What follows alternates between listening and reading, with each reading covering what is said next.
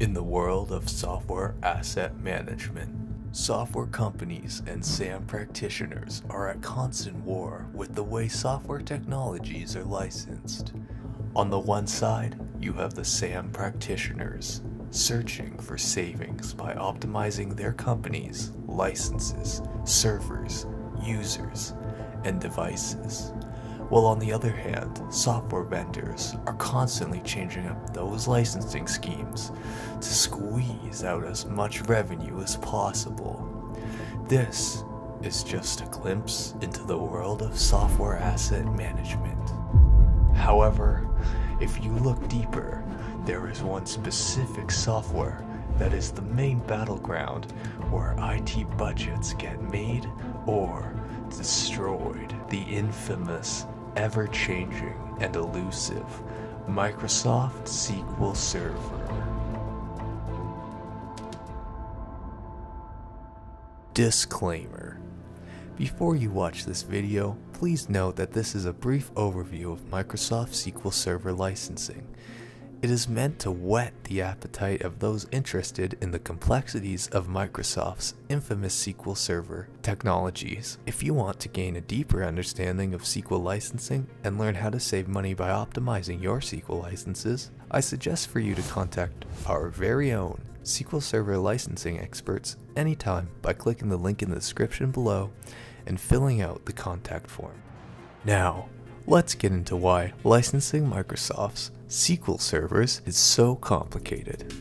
When licensing Microsoft SQL Server and its accompanied technology, there are countless things you need to know and to consider, many of which won't be covered in this video. But worry not, we will expand on this topic with our SQL Server licensing video series, covering all the hidden tips and tricks you need to know to successfully license and optimize your licenses for SQL Server. In this video, we're going to talk about the two main licensing models. So let's start things off at the top. As of now, there are two types of ways you can license your SQL servers. Number one, core-based, and number two, the Server Plus Client Access License or CAL model. Core-based licensing is the more common of the two, which we'll get into later. But for now, let's take a look. The core-based licensing model allows for an unlimited amount of users and devices to be connected to a SQL server and use its services legally. If we take it back to the battlefield, having the core-based license is kind of like a protective flak jacket, where the Kevlar in the jacket is your legal protection and the person wearing the jacket is your SQL server. And the explosion is, unfortunately, a Microsoft SQL audit. It's very important to have the legal protection as SQL Server audits are one of the most painstaking and expensive types of audits we typically see. To use this licensing model, you're going to have to pay for a 4-core minimum on any type of processor on any server. Even if you had a little 2-core processor on a server, you'd still have to buy four core licenses to be licensed and to use SQL regardless. Luckily, Microsoft sells core licenses in packs of two. So let's say you upgraded your 2 core to a 4 core. That means you'd need 2 core pack licenses to cover it. This may sound simple enough, but where this gets tricky is figuring out what components, physical or virtual, need to be licensed for you to stay compliant and lower your licensing costs. On screen right now is a graphic of all the SQL components you can find as of 2020, and boy, that list is pretty lengthy. When licensing cores, make sure to keep in mind these tips. To be compliant, you need to license every physical operating system environment, or OSE for short, that is running your SQL Server software. You will also need a core license for every core in that processor too. SQL Server software comes with many components, as we've seen in the graphic before, SQL Server analysis services, reporting services, and integration services that also need to be licensed too, and especially if you're running them in different locations to squeeze out a little extra performance in those servers. Be careful when you do this, because if you separate your products of the SQL Server over different machines, you may run into problems. If you try to license that all under a single license, the auditors will find it and you will be charged. Anything that is installed on your physical server needs to also have a license even if you're not running it. And VMs also need to be licensed. Licenses are applied to all virtual cores in the same way as physical ones.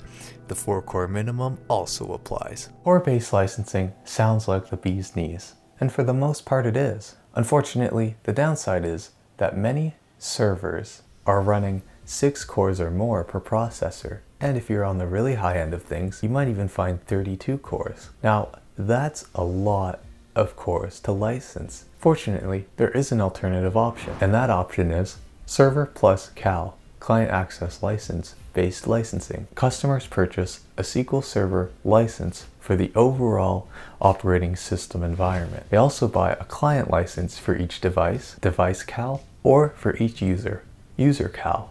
These allow the customer to access SQL Server and any of its components. However, before you buy or use up some of your client access licenses sitting around, there are a few tips you need to know before you buy the Server Plus Cal licensing model. The Server Plus Cal model is not seen as much anymore, partly because you can only buy the Server Plus Cal model in SQL Standard Edition. SQL Enterprise in this model was discontinued in 2012. The challenge is with this model, most auditors won't even recognize or accept the Server plus Cal model as compliant licenses. This is because this is really surrounding potential multiplexing, where a database, DB, or the application using that database may be providing information to another system. And if that is the case, you would have to purchase client access licenses for all devices or users using that system. The auditors see the CAL-based licensing as sort of like a loophole and believe that you may be using it nefariously by multiplexing or taking advantage of the system, and in turn, they usually count it as needing more cores in an audit. The management of this model can be very difficult and usually stops people from licensing using it. Due to SQL servers not being updated that often, people usually have these CAL licenses sitting around and are wondering if they can leverage them. To access a licensed SQL Server, each user or device must have a SQL Server CAL license that is the same version or newer than the SQL Server software version being accessed. Devices not operated by humans also require device CALs, for example, a handheld payment terminal. If you'd like to learn more and dig deeper into the differences between user and device-based CALs, we have an excellent PDF for you available in the description below. Understanding the different licensing types when it comes to SQL Server licensing isn't that bad at first, but I must warn you, from here on, the road does get rockier. Much rockier. I hope you enjoyed this video talking about the two types of licensing in SQL Server. Stay tuned because we will jump right into SQL Server edition types and software assurance in the next playlist episode. Right now, I'm happy for you. You have dipped your foot in to the deep pool that is known as SQL Server licensing. This playlist series will be updated as time goes by. So remember to subscribe, hit that bell, and smash that like button for more software asset management content on the regular. Thanks for watching, and I'll see you next time.